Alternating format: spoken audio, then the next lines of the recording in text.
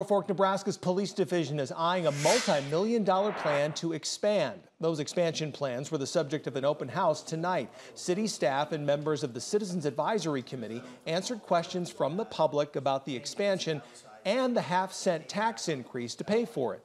The original police division building was built in 1986 and at the time housed 42 staff.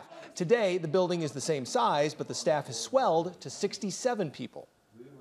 We are literally bursting at the seams, whether it's evidence production, officer workstations. Um, we have eight office or eight supervisors sharing one desk. It's just we, we've outgrown every portion of this, and it's it's time to do something about it. The proposed expansion would add just under 10,000 square feet to that facility. It would allow the expansion of evidence storage, additional training classrooms, weapons maintenance rooms, and areas dedicated to processing the evidence. An advisory committee plans to put the half cent tax in place for four years to pay for the project.